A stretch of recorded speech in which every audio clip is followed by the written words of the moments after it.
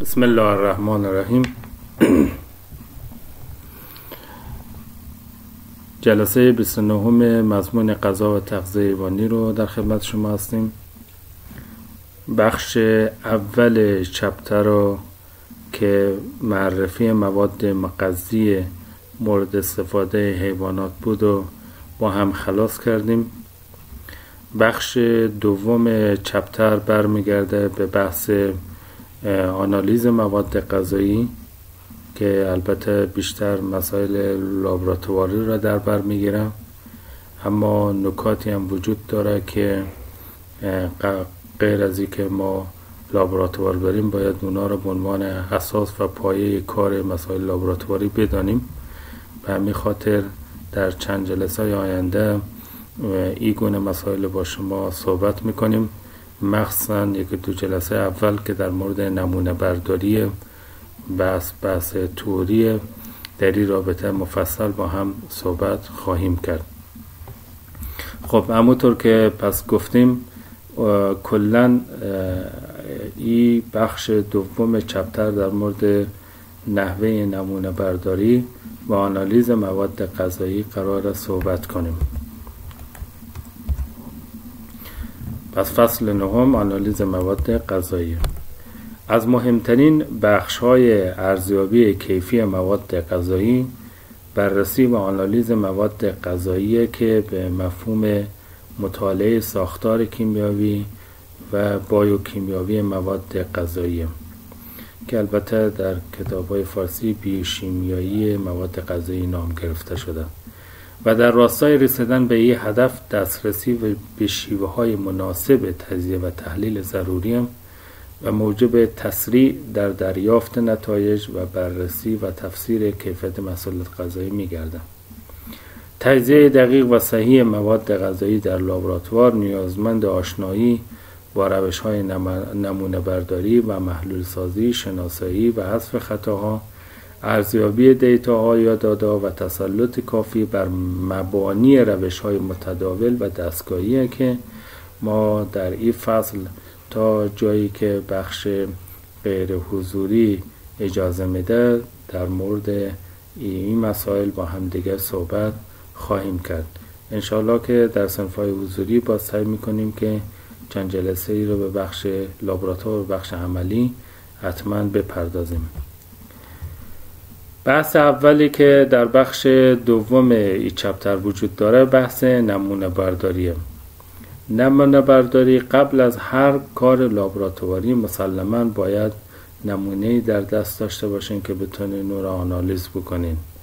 یعنی نمیشه که شما اگر قرار مثلا کیفیت یک ماده غذایی را بررسی کنین تمام اون ماده غذایی را مورد تجزیه قرار بدین و مورد آنالیز.